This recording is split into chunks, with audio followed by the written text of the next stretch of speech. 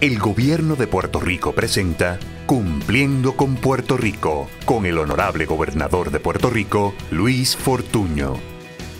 Desde un principio, una de mis prioridades principales ha sido asegurar la salud económica y fiscal de Puerto Rico. Es por eso que inmediatamente, después que asumí el cargo de gobernador, tomé los pasos necesarios para poner nuestra casa fiscal en orden y sentar las bases para una nueva era de crecimiento económico. Como resultado de las acciones que tomamos, contrario a la experiencia de varios otros estados y países alrededor del mundo, no tuvimos que cerrar el gobierno o despedir maestros o policías. En el proceso de poner nuestra casa fiscal en orden, a la misma vez trabajamos para apoyar el crecimiento de nuestro sector privado.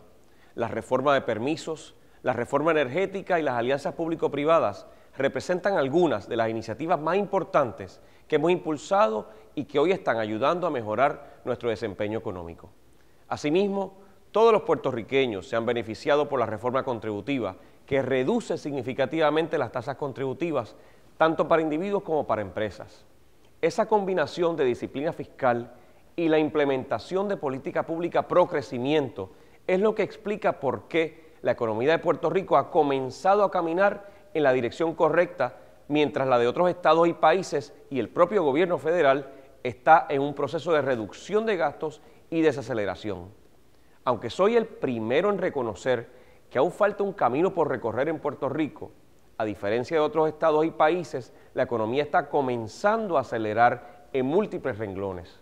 La creación de empleos está aumentando y el desempleo por fin ha comenzado a bajar. Nuestro mercado de bienes raíces está recuperando el terreno perdido. Gracias a nuestra reforma contributiva, el trabajador se queda con más dinero en su bolsillo cada quincena también. Eso no quiere decir que ya dejamos de enfrentar retos significativos.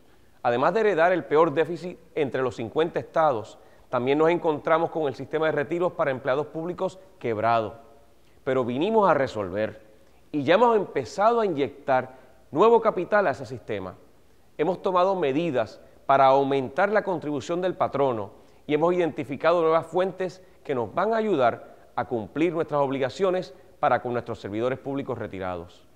Pero necesitamos hacer más y así lo haremos.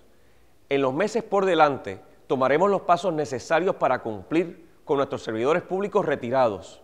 Al igual que hicimos con nuestro déficit presupuestario, enfrentaremos este reto juntos. Recuerden, que trabajando juntos Puerto Rico lo hace mejor.